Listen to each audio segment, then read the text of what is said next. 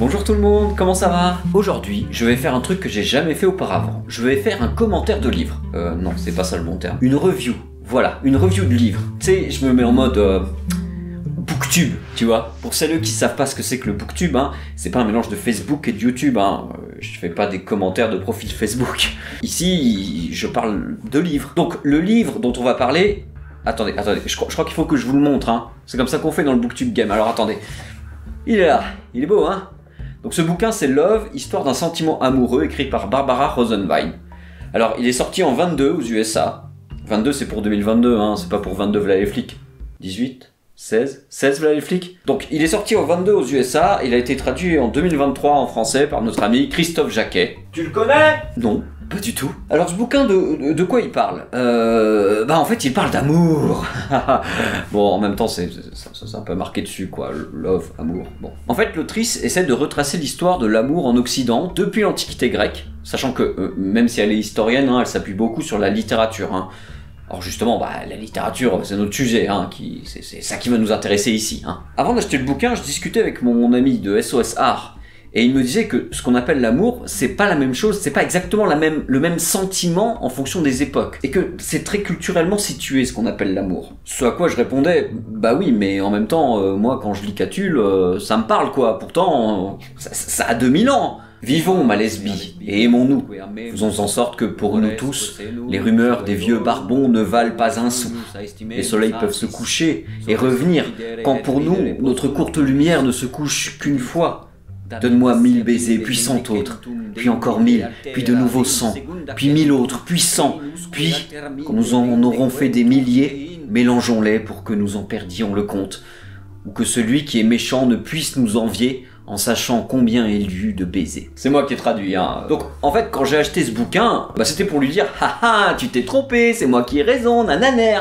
Euh, non. Enfin, un peu, mais non. En réalité, j'avais pas d'avenir tranché là-dessus. Avenir. Euh, pourquoi j'écris avenir? Non, d'avis. D'avis tranché. J'avais pas d'avis tranché. Voilà. Donc, je voulais savoir en achetant ce livre si effectivement l'amour, ou du moins le sentiment amoureux, qui est pas tout à fait pareil, était le même dans l'Antiquité, au Moyen-Âge ou maintenant. Et donc, bah, je sais toujours pas. en fait, le sentiment amoureux, il est varié, il est différent en fonction des individus ou des relations, donc c'est un peu difficile à tester. Par contre, ce qu'elle dit, c'est qu'on retrouve des récits autour de l'amour, dans les écrits, mais aussi dans l'imaginaire collectif, et que ces récits vont avoir une influence sur notre propre perception de l'amour. Par exemple, si on a vu plein de fictions qui nous disent que l'amour c'est formidable, c'est vraiment la plus belle émotion qui soit, ça rend fort, heureux, et que rien n'est supérieur à l'amour, Aimer, c'est ce qu'il y a de plus beau. Aimer, c'est monter si haut. Et toucher les ailes des oiseaux. Aimer, c'est ce qu'il y a de plus beau. ouh, bel organe Merci. Merci à mon frangin pour la voix. Bah, quand vous allez être amoureux de quelqu'un, ce sentiment plus fort que tout, c'est ce que vous allez vous attendre à ressentir. Et vous allez peut-être faire même en sorte de créer ce sentiment, cette impression de voler si haut, quitte parfois à complètement idéaliser la personne aimée ou idéaliser les, les sentiments que vous éprouvez. Et si vous n'éprouvez pas ça, ou plus ça, vous allez peut-être vous dire que vous n'éprouvez pas d'amour, ou alors vous dire Hein? C'est ça l'amour? Ainsi en est-il d'Emma Bovary, qui après son mariage avec Charles penserait qu'elle vivrait des années heureuses, les meilleurs moments de sa vie. Si Charles l'avait voulu cependant, s'il s'en fût douté, si son regard, une seule fois, fût venu à la rencontre de sa pensée, il lui semblait qu'une abondance subite se serait détachée de son cœur, comme tombe la récolte d'un espalier quand on y porte la main. Mais à mesure que se serrait davantage l'intimité de leur vie, un détachement intérieur se faisait qui la déliait de lui. La conversation de Charles était plate comme un trottoir de rue, et les idées de tout le monde y défilaient dans leur costume ordinaire sans exciter d'émotion, de rire ou de rêverie. Il n'avait jamais été curieux, disait-il, pendant qu'il habitait Rouen, d'aller voir au théâtre les acteurs de Paris. Il ne savait ni nager, ni faire des armes, ni tirer le pistolet, et il ne put un jour lui expliquer un terme d'équitation qu'elle avait rencontré dans un roman. Un homme, au contraire, ne devait-il pas tout connaître, exceller en des activités multiples, vous initier aux énergies de la passion, au raffinement de la vie, à tous les mystères? Mais il n'enseignait rien, celui-là, ne savait rien, ne souhaitait rien. Il la croyait heureuse, et elle lui en voulait de ce calme si bien assis, de cette pesanteur sereine, du bonheur même qu'elle lui donnait. Donc Rosenwein, elle va chercher à comprendre l'amour dans l'histoire à travers le prisme de ces récits qu'on se raconte. Alors, euh, quand elle parle de récits, elle parle pas d'œuvres uniques, hein, mais plutôt des discours, des idées construites sur l'amour. Et elle va essayer de retracer l'histoire de cinq récits autour de l'amour. Alors, je vous dis les titres, et ensuite, euh, bah, je vous explique ce qu'elle entend par là. Hein. Donc le premier, c'est l'accord parfait. Ensuite, il y a l'idée de transcendance, puis l'idée d'obligation, puis d'obsession, et enfin, elle traite de l'insatiabilité. Bon, alors dit comme ça, euh, c'est pas très clair. Je me demande si les titres des chapitres auraient pas pu être plus clairs. Mais bon, Passons. Alors, ces cinq fictions, si elle les a choisies, c'est que. Euh, bah, je sais pas pourquoi elle a choisi celle-là plutôt que d'autres. Euh, elle dit pas. Donc, bon. Bon, commençons par l'accord parfait. Qu'est-ce qu'elle entend par là? L'accord parfait, c'est-à-dire le fait que deux cœurs soient complètement à l'unisson, qu'ils pensent la même chose, qu'ils soient entièrement d'accord. Elle commence donc par le banquet de Platon, et notamment le mythe de l'androgyne. Je sais pas si vous connaissez, mais je vais vous raconter l'histoire. Donc l'androgyne, c'est dans le banquet de Platon, hein, euh, œuvre du coup euh, bah, de l'Antiquité grecque, hein, de philosophie, dans lesquels les personnages discutent de... Eh ben, ils discutent de l'amour en fait. Et l'un de ces personnages, Aristophane, dit que... Euh, il raconte un mythe en fait. Il raconte un mythe dans lequel il disait qu'autrefois, il vivait les, des êtres les ancêtres des êtres humains, mais que c'était pas, c'était pas vraiment euh, comme des êtres humains maintenant. C'est-à-dire que c'était un peu comme deux corps fusionnés. Ils avaient euh, quatre bras, ils avaient quatre, euh, quatre jambes, hein, et, et, ils étaient, voilà, c'était un peu comme si c'était deux, corps fusionnés. Alors, du coup, dedans, il y avait des mâles, donc qui étaient juste, juste voilà, de, sexe masculin. Il y avait des femelles, qui étaient donc de sexe féminin, et puis il y avait les androgynes, qui étaient de sexe moitié masculin, moitié féminin. Bon, alors ces êtres, ils étaient super forts, ils étaient super balèzes, ils se déplaçaient euh, en, roulant, oui c'est un peu, bon, pourquoi pas. Et euh, un jour, ils ont eu l'idée de défier les dieux. Voilà, de défier les dieux, donc ils sont montés vers l'Olympe. Alors les dieux, ils étaient un petit peu euh, pas très rassurés par ça, et donc Zeus, pour déjà les punir, et puis aussi pour protéger l'Olympe, hein, il leur a lancé un éclair qui les a séparés en deux. Et depuis ce jour, eh bien, ces êtres-là, ils vont essayer de rechercher la moitié qu'ils ont perdue. Et donc, ceux qui étaient des mâles bah, vont rechercher une moitié mâle, ceux qui étaient des femelles, une moitié femelle, ceux qui étaient euh, androgynes, une moitié de l'autre, sexe. Et c'est ainsi que serait né l'amour, en fait. L'amour, c'est juste la recherche de cette deuxième moitié de nous qu'on a perdue. On cherche inconsciemment à retrouver cette deuxième partie de l'être que nous formions autrefois.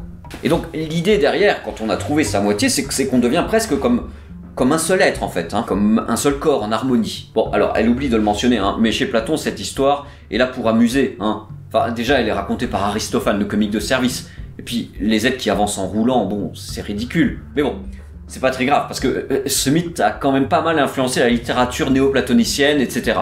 Donc, on peut raconter cette histoire. D'ailleurs, même maintenant, hein, ce mythe est, pas mal connu. Hein. je l'ai vu dans, un, dans un film, par exemple. Donc en soi, c'est une super idée de travailler sur l'influence du mythe de l'androgyne. Mais en fait, bah en fait, le chapitre est un peu décevant parce que, alors qu'il y aurait plein de trucs à dire en littérature, bah finalement, elle dit pas grand chose, du moins sur l'amour, elle, elle dit pas grand chose. Puisque, en fait, dans ce chapitre, elle passe plus de temps à traiter de l'amitié, le côté deux amis qui s'entendent parfaitement et qui sont presque comme la complétude l'un de l'autre. L'exemple qui m'a le plus parlé, qui était autour de la relation entre Montaigne et la Boétie, où vraiment chacun a eu l'impression de trouver son alter ego. Oui, parce que ici, en fait, elle, pense que le mythe de l'androgyne, ça, force à trouver en fait son, alter ego, son autre soi-même, et que quand on est avec euh, l'autre soi-même, bah, on est comme euh, dans une espèce de, complétude. En fait, c'est l'idée de trouver euh, l'être qui nous correspond parfaitement comme si c'était l'autre moitié de, euh, cet être euh, l'androgyne, en tout cas pour les personnes euh, hétérosexuelles. D'ailleurs, l'amitié entre Montaigne et la Boétie, ça donne cette phrase que vous avez peut-être déjà lue ou entendue, parce que c'était lui, parce que c'était moi. Mais finalement, sur l'amour, sont seulement traités Abélard et Héloïse. Vous savez, ces deux amants du Moyen Âge. Bah, c'était intéressant, mais finalement, elle l'aborde de manière assez succincte. Bon, ce premier chapitre ne, ne m'a pas convaincu. Voilà. Le deuxième traite de la transcendance, que l'amour, à travers différentes épreuves, nous permette d'élever notre âme, de donner une version optimale de nous-mêmes, ou de notre âme, selon les croyances. l'idée que l'amour en fait élève. Le problème c'est qu'en fait dans ce chapitre, euh, bah elle parle pas beaucoup d'amour entre individus. Elle, parle essentiellement de l'amour, bah, de l'amour divin. Alors c'est vrai que l'amour divin élève, hein, puisque ça permet de se rapprocher de Dieu. Mais euh, bon, euh, moi je, je, sais pas, moi le bouquin il parle, il s'appelle Love quoi. Bon, l'amour divin, d'accord, ok, mais c'est pas vraiment ce que j'attendais de lire, quoi. Donc c'est un peu. Je sais pas. Pareil, ce deuxième chapitre m'a pas convaincu. Il évoque quand même un petit peu l'amour de Dante pour Béatrice, hein, qui lui permet littéralement de, de s'élever dans la divine comédie, puisque son amour pour Béa, oui, je l'appelle Béa, c'est c'est une copine. Donc son amour pour Béa lui permet d'échapper au purgatoire et d'aller au paradis. En fait, quand, quand il est mort, quand il est au purgatoire, pour pouvoir s'en sortir, pour pouvoir s'élever et aller au paradis, eh bien, il, est con- il faut que Béatrice vienne le chercher. Béatrice qui est déjà morte, qui est déjà au paradis, donc qui, qui descend le chercher pour l'amener là-haut. Donc grâce à son amour euh, pour Béatrice, parce qu'il aime très très fort Béatrice, hein, euh, grâce à son amour pour Béatrice, eh ben Dante, il peut euh, s'élever là-dedans. Voilà. Mais c'est à peu près le seul point qui parle vraiment d'amour tel que nous l'entendons nous dans ce chapitre, quoi. Alors, on va pas se mentir, hein, la transcendance religieuse, c'est un truc qui a pas mal d'histoire, hein, notamment, elle parle d'Origène, qui a eu quand même pas mal d'influence sur le Moyen Âge. Donc, c'est pas mal d'en parler, mais voilà. J'aurais aimé qu'elle développe ce chapitre autour de l'amour courtois, bah, qui est typiquement dans l'idée d'étape à franchir auprès de la dame pour s'élever. Et des trucs un peu postérieurs, comme la vision de l'amour chez des gens comme Louise Labbé par exemple. Elle parlera un peu de l'amour courtois plus tard, donc attendons de voir. Le chapitre 3, autour de l'obligation, m'a paru beaucoup plus pertinent en fait. Il parle en gros de l'amour par devoir, et notamment de la question de l'amour et du mariage. Longtemps, notamment influencé par le christianisme, hein, mais pas que, on avait un devoir d'amour pour son époux ou son épouse. Bah, déjà chez les Romains, hein, Cicéron se sentait obligé de faire de grandes déclarations à sa femme, et ce, peu de temps avant leur rupture. hein. De manière assez rigolote, la question, et, le livre en parle, n'est pas la même quand on peut choisir son épouse ou son époux, et le cas échéant pouvoir divorcer ou pas. Quand c'est possible, bien sûr, il y a cette idée d'amour qui précède le mariage, qu'on se marie parce qu'on s'aime. Mais quand on peut pas choisir, bah, il faut apprendre à s'aimer.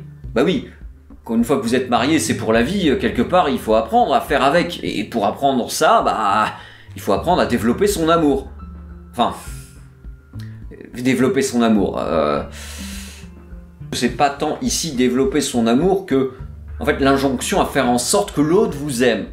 Donc les questions autour de comment bien se comporter dans le couple, qu'on retrouve depuis l'Antiquité, mais encore au XXe siècle, hein, avec les magazines qui disent euh, genre euh, comment entretenir la flamme. euh, bon, vous l'aurez compris, hein, le fait de raviver la flamme et tout, machin, c'est- sur la femme en fait qu'elle est portée, euh, ces choses-là, d'entretenir le couple, de faire en sorte que ça fonctionne, tout ça. Et ça, curieusement d'ailleurs, elle en parle pas beaucoup, le fait que c'est une injonction sur les femmes, la fameuse charge émotionnelle si on veut. Quoi. Alors il y a peu d'exemples littéraires dans ce chapitre, hein. bah, c'est peut-être pour ça qu'il est bien. Mais il est quand même moins bien que le quatrième chapitre, hein, qui parle de l'obsession. Vous savez, quand on pense qu'à l'être aimé, qu'il occupe toutes nos pensées, etc. En fait, cette idée de l'obsession, ça prend vraiment tout son essor à partir de l'amour courtois, notamment le finamore des, des troubadours, où la personne aimée est la plus importante, et où on se doit de ne penser qu'à elle, quitte parfois à en souffrir. hein.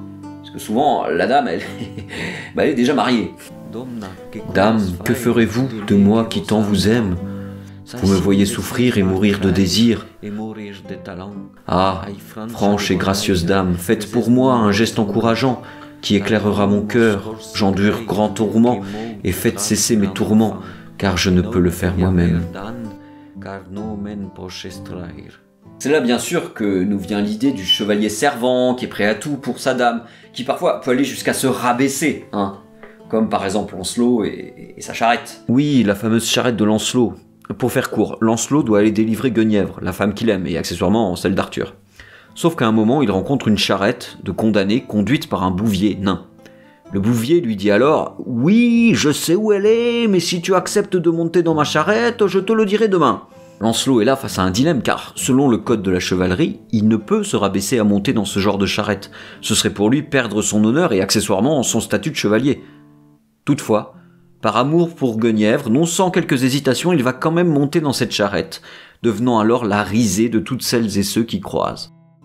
Bien sûr, Elle évoque Pétrarque dans ce chapitre, le grand Pétrarque, auteur italien du XIVe siècle qui parle de son obsession pour l'or, ce qui est source de souffrance pour le poète, puisque non seulement il ne pourra jamais être avec elle, mais aussi il ne fait que la croiser dans sa vie, et donc il parle de son malheur de ne pouvoir être avec l'être aimé, et en même temps il, se rend compte que ce malheur lui permet paradoxalement de s'élever, notamment parce qu'elle lui permet de produire une poésie qui est plus belle. Bon, elle va pas très loin sur Pétrarque et elle parle pas beaucoup de son influence sur les lettres, alors que bah, quand même le pétrarchisme, notamment à la Renaissance, bah, c'est un gros morceau quoi. Dans ce chapitre, elle évoque ensuite les, salonnières, sans que je comprenne très bien le rapport avec l'obsession. Vous savez, les salonnières hein, du, XVIIe siècle euh, qui se réunissaient pour parler littérature. Bon, puis elle passe ensuite au romantisme, et notamment elle insiste pas mal sur les souffrances du jeune Werther, de ce bon vieux Goethe. Hein. Oh, regardez comment il a l'air tourmenté, ce brave Goethe. Werther, il tombe amoureux de Lotte, Charlotte. Hein.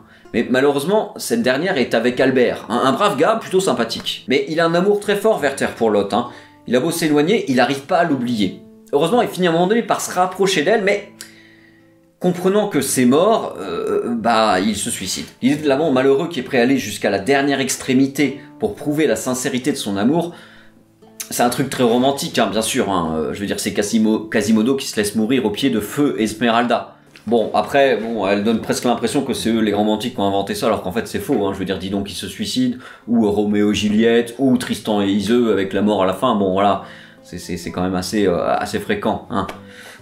Donc voilà, le chapitre est intéressant, mais, mais j'ai quand même un peu du mal à rapprocher sous une même bannière l'amour courtois et l'amour malheureux romantique. Enfin, je pense que, en fait, l'autrice aurait gagné à davantage insister sur les liens entre les deux pour vraiment appuyer son propos, quoi. J'imagine que c'est l'idée d'être prêt à tout par amour, mais en même temps se suicider juste pour un amour impossible, bon, c'est pas la même chose que d'être prêt à tout pour conquérir le cœur de sa dame. Ou alors, euh, le lien il se fait peut-être par le pétrarchisme, à savoir souffrir d'amour ça permet de faire des beaux textes, et donc aller jusqu'au bout de la souffrance ça permet de toucher au sublime, pour reprendre le terme de Victor Hugo. Je sais pas. Je sais pas, c'est frustrant de pas savoir, et j'aime pas pas savoir. Le dernier chapitre est dédié à l'insatiabilité, c'est-à-dire des séducteuristes qui ne trouvent jamais de satisfaction dans la construction d'un couple et qui donc passent de conquête en conquête. Donc elle parle ici finalement plus des séducteurs qui parfois feintent l'amour pour arriver à leur fin, mais il est ici peu question d'amour, un peu quand elle évoque Valmont qui tombe amoureux de la présidente dans la liaison dangereuse, mais bon, elle développe, elle développe plus de pages sur le personnage de Don Juan à travers les textes. Alors, c'est super intéressant, hein, mais quel rapport avec le Schmilblick? Chez Don Juan, il n'est pas question d'amour. Bon alors, qu'est-ce que j'ai pensé de ce bouquin? Bon, bah vous l'avez bien compris, je suis un peu déçu. Globalement donc, j'ai un peu l'impression d'un livre qui, qui répond pas à sa problématique. D'ailleurs, euh, finalement, il n'y a que deux chapitres qui sont vraiment centrés sur l'amour. En fait, quel est le problème? Bah c'est un peu les cinq catégories. Déjà, on ne sait pas pourquoi elle les a choisies, elle. J'ai l'impression qu'elle fait ces catégories a priori, c'est-à-dire que et j'ai pas l'impression qu'elle parle d'un gros corpus, qu'elle épluche et où elle arrive à trouver cinq catégories, mais plutôt j'ai un peu l'impression qu'elle a fait ces cinq catégories un peu au, doigt mouillé là, comme ça. ouais, tiens, je vais dire ça. Puis une fois qu'elle avait trouvé ces cinq catégories, elle allait faire des recherches pour avoir des trucs à dire, pour remplir son chapitre quoi. Et c'est pour ça que finalement plein de fois elle s'éloigne de son sujet en parlant d'amitié, de la foi, de la séduction fallacieuse. Je trouve ça vraiment dommage. Puis en catégorisant comme ça, en fait, elle se retrouve à séparer des points qui vont ensemble. Je veux dire, la transcendance, l'accord parfait et l'obsession, bah, ça va un peu ensemble. En, effet, on retrouve tout ça dans le mythe de l'androgyne, à savoir que quand on est avec l'être qui nous complète, bah, on est en accord parfait avec, oui, mais on attend aussi une forme de transcendance. Ça nous élève, ça nous rend plus forts. Et en même temps, comme le dit le banquet, une fois qu'on a rencontré son double, on ne peut plus se séparer, on est obsédé par l'être qui nous complète. Mais le problème, c'est que vouloir résumer 2500 ans d'un sentiment aussi complexe en 300 pages, c'est un peu hardi, quoi. Et en fait, elle, cite plein de trucs, mais elle reste tellement en surface que finalement, je trouve que bah, j'ai pas appris grand chose finalement, j'ai presque l'impression qu'elle ne fait que citer ce qui doit être cité sur un thème, mais que les gens qui sont un peu intéressés au truc bah, connaissent déjà. Je, veux dire, il y a dans ce livre pas mal de textes que j'ai étudiés avec mes secondes, voire avec mes troisièmes, et elle dit à peu près les mêmes choses que ce que je dis à mes élèves. Alors, en, en soi, c'est pas faux, hein, mais je trouve ça un peu ledge, quoi, pour un travail universitaire publié aux éditions PUF. Pif, paf, puf. Parfois je me fatigue, vous savez. Oui, donc PUF, c'est les presses universitaires de France, pour celles et ceux qui connaissent pas. Hein. Donc ça publie de la science, quoi. Enfin, des, sciences humaines et sociales, euh, des vraies sciences, quoi. Donc voilà, c'est une historienne qui va chercher des sources littéraires, mais on, sent que la littérature, c'est pas son métier, donc ça donne pas un effet scientifique, en fait, au truc. Le bouquin est bien, mais c'est plus de la, vulgarisation que de la recherche stricto sensu. En fait, elle apporte rien au débat, il n'y a rien de neuf dedans. Le seul truc qui est neuf, c'est d'avoir ordonné les trucs ensemble, mais, mais, même pas très bien en fait. Donc finalement, je me suis demandé comment fallait le prendre ce bouquin pour vraiment l'apprécier. Et je pense qu'en fait, il faut plus le considérer comme, euh, bah, comme un manuel. Vous voyez, il reprend un peu tout ce qu'il y a à dire sur l'amour dans le cadre, allez, d'un cours de licence sur le sujet. Et je pense que, en fait, je pense que je vais réutiliser ce bouquin si je veux faire un cours sur l'amour ou si je dois traiter de l'amour dans une vidéo. Je pense que je pourrais l'utiliser, ne serait-ce juste parce qu'il cite plein de sources littéraires et qu'il évoque des textes qui, bah, qui, peuvent pas ne pas être évoqués sur le sujet. Hein. Mais voilà, euh, j'aurais juste estimé que l'autrice aille euh, un peu plus au-delà de ça. Je vous cache pas que l'histoire de l'amour en littérature, c'est quand même un sujet qui mérite d'être traité. Enfin, dans l'idéal.